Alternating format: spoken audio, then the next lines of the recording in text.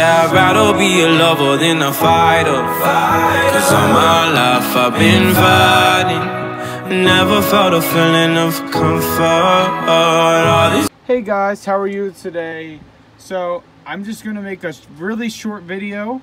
Um, next week, I is my last week of um, college this year, and I'm finishing up um, next week with finals and stuff like that. So it won't be too much longer till I am um, back on track with my videos and be able to um, better communicate with you all.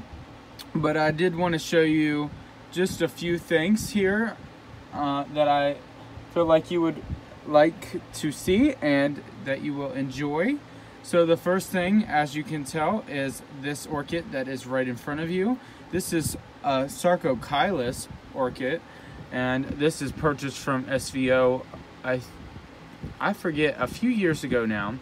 And um, there are the names of the parents, but this is such a beautiful little delicate flower. I love it.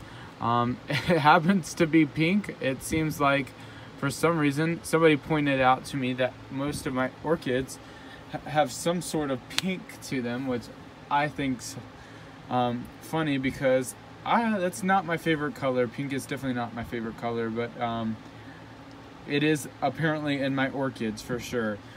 But what a beautiful little thing. Um, it has a lot of spikes on it. So I have one, two, three, four, five, six, seven.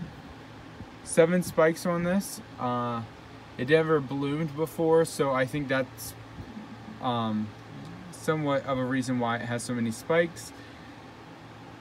What? Very beautiful, and I love the uh, pattern on it. The next thing, uh, when I went to go see Dr. Motes speak, I bought this miniature Vanda, Vanda Motes Golden Imp. And it's a cross between Vanda cristata by Testacea. And here is its flower. Uh, very cute. Uh, orange yellow background with the sebum petals and then a very bright um, fuchsia purple lip. It's,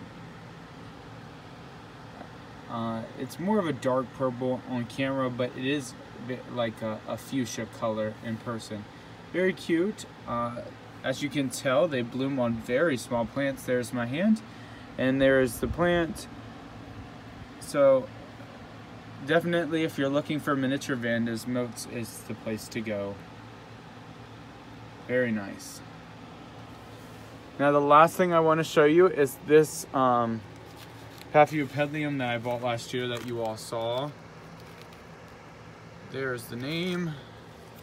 It's a little unsteady because I need to stake the flower, but here it is. Very dark, very beautiful. Um, yeah, it's very nice. But that's all I have for you. I hope you enjoyed this video and definitely I will be back very soon with my regular videos and we will have lots of fun. Alright guys, I will talk to you later. Bye.